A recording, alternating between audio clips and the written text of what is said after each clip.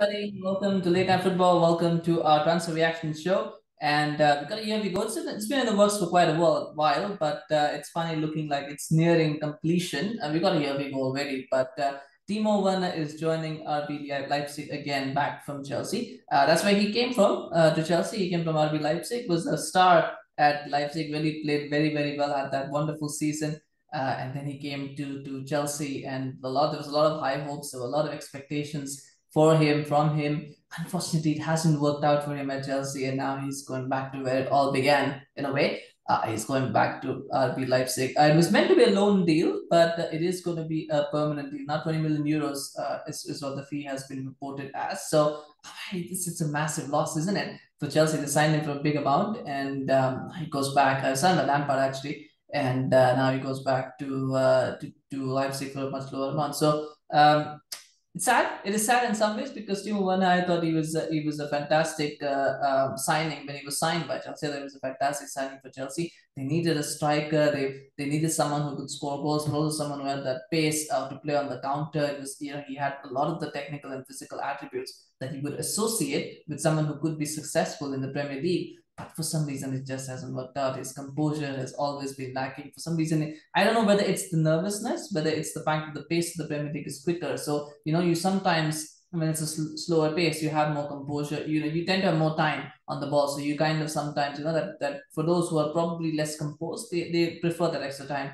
In the Premier League, you don't get that kind of time. So his lack of composure has come to the fore in that uh, in that sense. And I think maybe just the fact that he's going to go back to the Bundesliga in familiar surroundings, I think that will help him just rediscover his goal scoring form. He does lack composure, though he misses a lot of easy chances, a lot of guilty chances. And I think it's a lot to do with, with that. Uh, with not being used to the pace of high level football. I think that is what it is. But uh, nonetheless, I mean, I'm sure Chelsea fans will we will wish him all the best. I mean, he still won them a won a Champions League with them. He, he did he did okay. I don't think he was he was uh, completely bad. I think people probably say he was better than Lukaku. Uh, but uh, I, am sure people expected more from him. I think that that's where the frustration is that they a lot more was expected from him.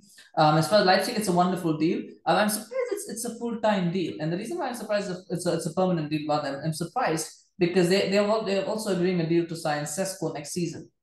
So if he, I, I would have thought they would have probably kept it as a one as a one year deal, uh, as a loan deal, and then you get Sesko next season, so you don't need Werner, which I think means that they know that Nkunku is leaving next season. I think that is the implication that, that they'll have is that the fact they'll keep Werner, they'll get Sesko next season, and Nkunku will leave, so they'll have Sesko, and, and, and so Werner is there as, as a sort of continuity link but they have Sesko in as a new striker to replace Nkunku. So I think that is one we want to keep an eye on. Then Nkunku will leave next season. Where he goes will be interesting, but I, I think that's the plan. I think that's the plan is to, is to see him leave um, leave Chelsea next, uh, sorry, not Chelsea, Leipzig next season. So that'll be something to follow. Um, from Chelsea's point of view, I think it's good business. I think it's actually good business. I think I think this is again one of those win win win win win win deals that we talk about because uh, uh, Chelsea, you know, they get a bit of money for a player that they would have probably otherwise had to give out on loan. So what they've done is they've got rid of him completely. They, they sold him, they got his wages off the book, they've got some money for him.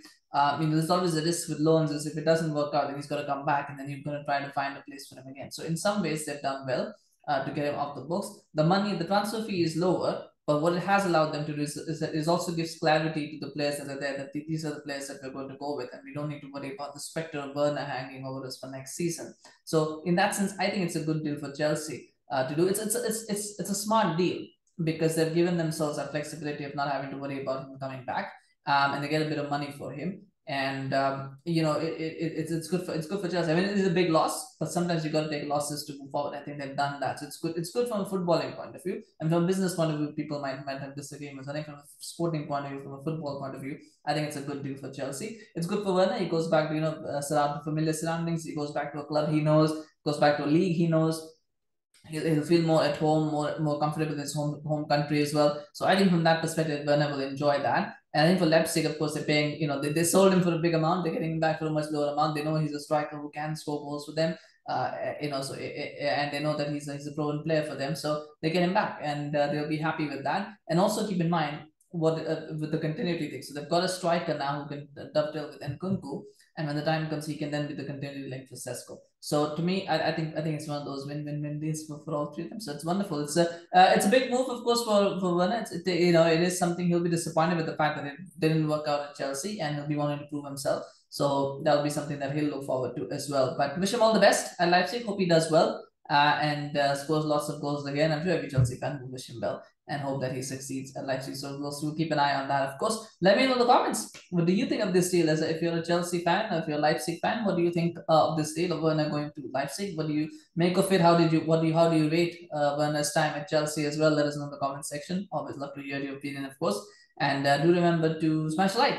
Smash like for Leipzig, smash like for Werner.